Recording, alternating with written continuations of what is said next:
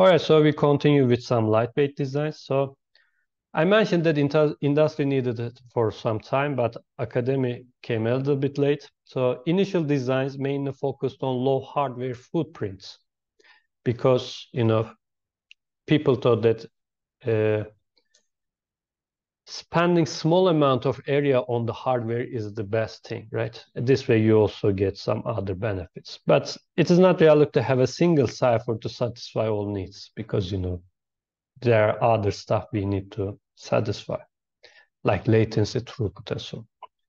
To fit within constrained settings, lightweight ciphers rely on simpler round functions or minimal key schedules. The simpler structure of many of these ciphers may lend itself to new attacks. Actually, I all of my contributions to the area of cryptanalysis, I discovered them by working on lightweight designs because it is easier to come up with new ideas. Okay. So there are some different designs focusing on different aspects. I said that initial designs focused on low hardware footprint. This means that they've tried to spend as minimal as possible on the hardware. Okay, so there are some ciphers, as you can see, the initial ones became ISO standard, like Present and CLEFIA became IOC lightweight block cipher standard. HIGHT became IOC block cipher standard, but there were other algorithms that focused on low hardware footprint. But later on, people realized that this is not the only thing we need from a lightweight cipher. So people designed different algorithms, but focusing on low memory consumption on small embedded processors. Okay, and some focused on low latency, and some focused on ease of side channel protection. So as you can see, having a one cipher satisfying all of the best properties is not that easy and generally is not possible. An algorithm designed for low latency may require more memory co consumption and so on and so forth. But at the end, having a lot of algorithms or a lot of standards is not something industry wants. Because if you choose three standards, industry says that we have to put all three of them on the device. But this breaks the idea of lightweight design, right? If you put three algorithms that do the same stuff, then you're wasting hardware space. So this is why they insisted that needs to have a single uh, standard. Okay. So before NIST, ISO actually chose some standards. For instance, ISO from since 2012 has lightweight stream cipher standards like Enocoro and Trivium. As you can see, Trivium only supports 80-bit keys. So it only provides short-term security. So you shouldn't be using it. But the design is really nice. There's another algorithm, Enocoro. It still supports 80-bit keys, but in my uh, honest opinion, I also should remove these 80-bit keys. Okay. There are ISO standards for lightweight hash functions like Photon, Spongent, or Lesamnta. There are lightweight message authentication code standards like this. So at the ISO side, we ISO ISO side, we have a lot of standards, but at the NIST side, we didn't have one until NIST started the competition, okay? It started with this. So NIST, you can read this NIST reports if you want. So the, in this report, they said that they are going to start a competition-like process, standardization process, and they will evaluate the algorithms depending on these parameters like physical performance or security. So at the physical side, we are interested in how much area they consume. Like at the ASICs, we focus on gate equivalence, or otherwise we look at millimeter squares it consume on the hard drive. Memory like RAM or ROM usage, implementation, energy in terms of joule here, or performance like latency, throughput, or power in terms of watts here. And also we want uh, security. Here the cryptanalysis side is here, okay? So we don't care if something is fast if it is not secure, right? So security is a must, and we compare the performances and try to find the best algorithm. So the this is the some part of a shortened version of this standardization process.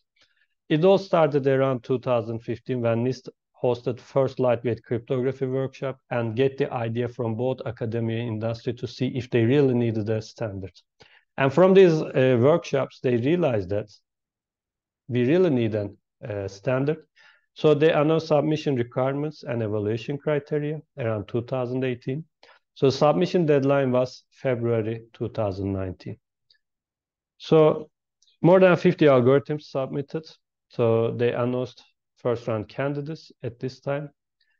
But the number of algorithms were more than they expected. So in a very fast way, they removed, uh, you know, not good ones and announced the second round candidates.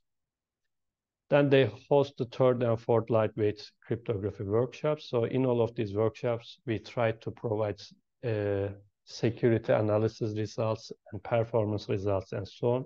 So around 2020, they announced the finalists, 10 algorithms.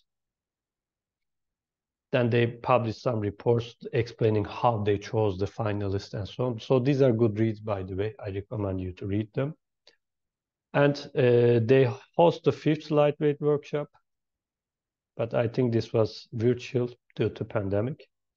And finally, just this year, at the beginning of this year, they said that Ascon is the winner. Okay. So they published a report again around this time. So they again hold a virtual workshop where we actually provided our results about Ascon again, their security and so on, performance, etc. So this was the thing. So Ascon won the competition, but you know, preparing the uh, proper documentation and making it really the standard takes a few years, you know, because you this is some official bureaucracies involved and so on. So let me show you the second round candidates. I think from 56, it reduced to this many algorithms. Then third round candidates was these 10 finalists. But as I mentioned, at 7th February of 2023, NIST said that Ascon is the winner. Okay. So to, if we want to summarize, IoT devices are very different than each other, so it is hard to provide standards for all, right? So they are trying to come up with an algorithm that works best in almost all of them. And Ascon is a nice example here. Current device production does not focus on security because as I mentioned, this is a very extremely cost sensitive. So people producing small devices generally does not focus on security.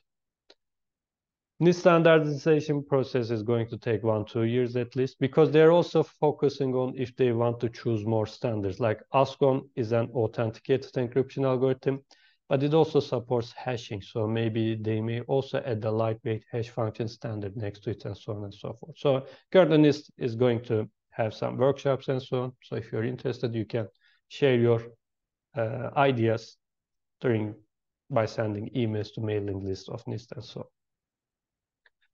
Producers should provide their own security solutions until IoT standards are available. So this is, as you can see, a problem because producers generally do not provide any security solutions. And this is why many disasters happen at the world of IoT.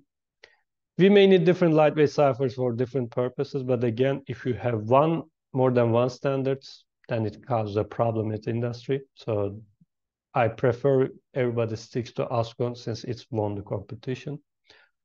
Due to their simplicity, lightweight design may be weak against attack types that are not discovered yet. So we keep discovering new cryptanalysis techniques by, uh, you know, analyzing these new simple ciphers. And finally, lightweight does not mean shorter key. Using short keys provides almost no security. And nowadays, there is no need to use keys shorter than 128 bits. Okay.